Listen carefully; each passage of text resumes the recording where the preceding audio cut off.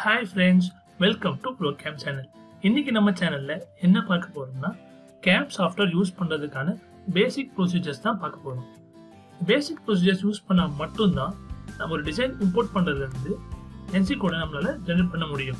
வாங்க இந்த ப்ரொசீஜர்ஸ் என்னங்கிறத இப்போ பார்க்கலாம். கேம் ப்ரொசீஜர் ஸோ இந்த ஏழு ப்ரொசீஜர் யூஸ் பண்ணி மட்டும்தான் நம்மளால் வந்து பார்த்திங்கன்னா எல்லா கேம் சாஃப்ட்வேர்ஸ்லையுமே என்சி கோட் ஜென்ரேட் பண்ண முடியும். வாங்க சாஃப்ட்வேரில் இந்த ப்ரொசீஜரை பார்க்கலாம்.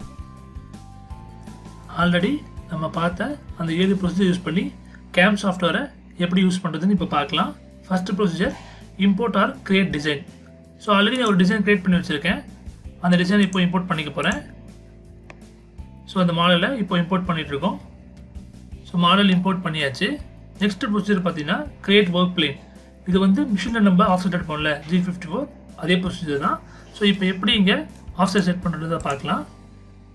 ஸோ நான் வந்து பார்த்தீங்கன்னா இப்போ ஒரு ரெக்டாங்குலர் ரா மெட்டீரியல் எடுக்க போகிறேன் ஸோ அது எப்படி அந்த ரெக்டாங்குலர் ரா மெட்டீரியலோட கார்னரில் வந்து பார்த்தீங்கன்னா நான் வந்து ஆஃப்செட் எடுக்க போகிறேன் நான் வந்து இப்போ ஒரு மாடல் ரெக்டாங்குலர் ஷேப் க்ரியேட் பண்ணிக்க போகிறேன் ஸோ இங்கே வந்து பார்த்தீங்கன்னா எனக்கு ஒரு ரெக்டாங்குலர் லைன் கிடச்சிருச்சு. அதாவது இந்த ஜாபோட எக்ஸாக்ட் லென்த் எக்ஸாக்ட் வித் வந்து லென்த் கிடச்சிருச்சு. ஸோ இப்போ வந்து பார்த்தீங்கன்னா ஒர்க் பிளேன் செட் பண்ண போகிறேன்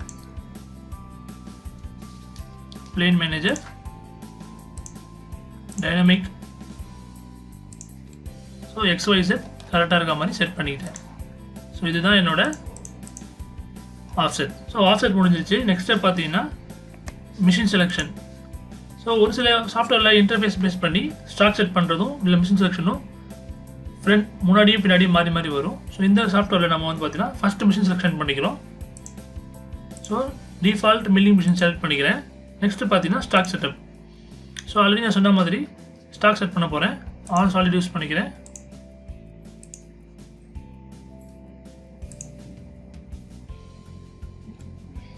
ஸோ ஸ்டாக் செட் பண்ணியாச்சு. அதாவது என்னோட ரா மெட்டீரியல் சைஸை நான் எடுத்துக்கிட்டேன். நெக்ஸ்ட்டு பார்த்தீங்கன்னா கிரியேட் டூல் பாத் அதாவது ஆப்ரேஷன் கிரியேட் பண்ண போகிறது ஸோ நான் வந்து ஒரு த்ரீ டி பாக்கெட் ரஃபிங் எடுத்துக்கிறேன். டூல் ஜாப் செலக்ட் பண்ணிவிட்டு ஒரு லிமிட் சொல்லிவிட்டு டூல் பாத் ஜென்ரேட் பண்ண போகிறேன் டூல் க்ரியேட் பண்ணி.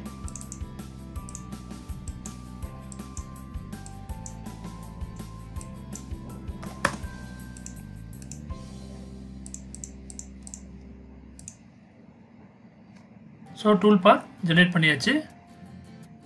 நெக்ஸ்ட் டூல் பாத் ஜென்ரேட் பண்ணதுக்கப்புறம் என்ன பண்ணுவோம்னா two D simulation and three D verification அதாவது டூல் பாத் எப்படி வந்து சிமுலேட் ஆகுது அதை யூஸ் பண்ணி மெட்டீரியல் ரிமூவல் எப்படி ஆகுதுன்றதையும் நம்ம வந்து த்ரீ டி சிமுலேஷன் மூலிமா வெரிஃபை பண்ணலாம். ஸோ இது வந்து டூ டி சிமுலேஷன் அதாவது டூல் பாத் எந் என்ன மாதிரியான மோஷனில் இருக்குன்றதை நம்ம வியூ பண்ணிக்கலாம். அது மட்டும் இல்லாமல் சைக்கிள் டைமையும் நம்ம செக் பண்ணிக்க முடியும். As per the tool parameter so இப்போது த்ரீ டி சிமுலேஷன் ஸோ இந்த த்ரீ டி சிமுலேஷன் யூஸ் பண்ணி ஜாபில் எங்கேயாவது டூல் கொலிஷன் ஆகுதா இல்லை ஓவர் கட் ஆகுதா அப்படின்றது நம்மளால் வெரிஃபை பண்ண முடியும். ஸோ இதுதான் நம்மளோட three D simulation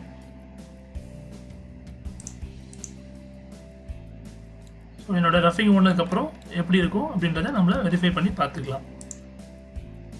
so next step வந்து பார்த்தீங்கன்னா ஃபைனல் ப்ரொசீஜர் என்சி கிரியேட் பண்ணுறது ஸோ இது நம்மளோட மிஷினே வந்து பார்த்தீங்கன்னா என்சி கிரியேட் பண்ணுறது தான் ஸோ நம்ம இப்போது என்சி ஜென்ரேட் பண்ணுறோம்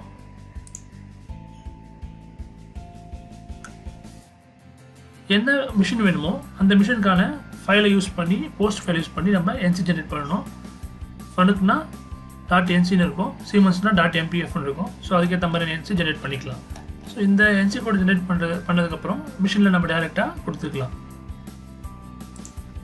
ஸோ உங்களுக்கு ஏதாவது டவுட் இருந்துச்சுன்னா கமெண்ட் பண்ணுங்கள் பேஜை லைக் பண்ணுங்கள் ஷேர் பண்ணுங்கள் சப்ஸ்கிரைப் பண்ணுங்கள் தேங்க்யூ